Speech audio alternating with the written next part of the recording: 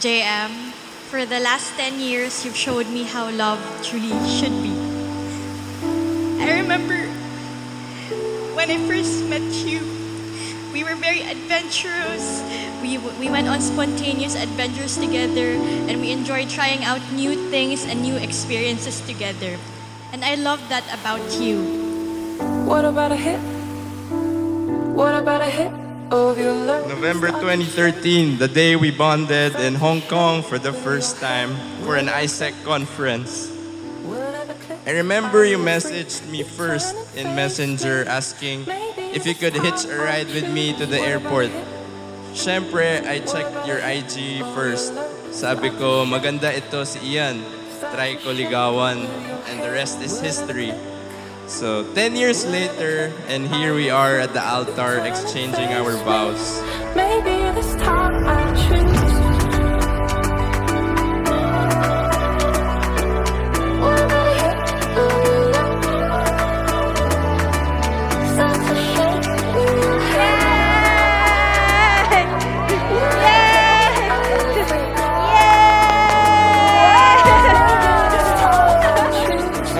So shaker, no? Oo, may maliit na shaker.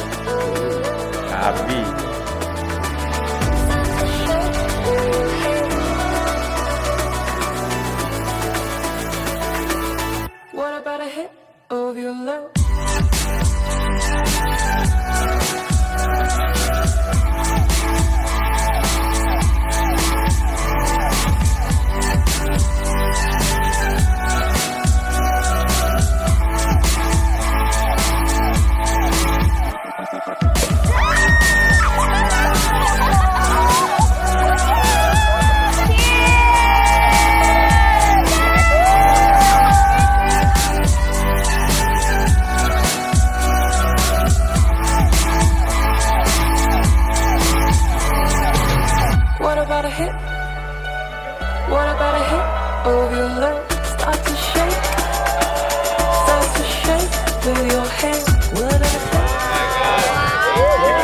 JM, the last 10 years have been amazing, and I'm sure the rest of our lifetime together is even better. I want your first Rolex watch to be very memorable, and here's to making every moment count, and to always have the best time together.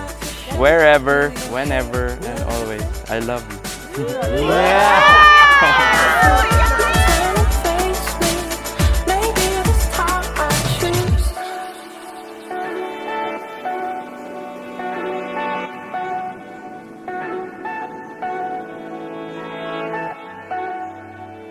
I promise to be your faithful wife, best friend, adventure buddy, all throughout. And I promise to love you every single day. And yes, we will take more photos together this time. Not just my solo photos. I promise to be forever with you and to love you always and forever.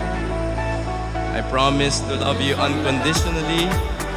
I promise to be the best God-fearing father and husband I can be. I promise to be more patient in taking more photos and videos of you.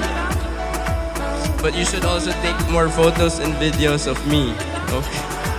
Kasi lugi ang ratio natin.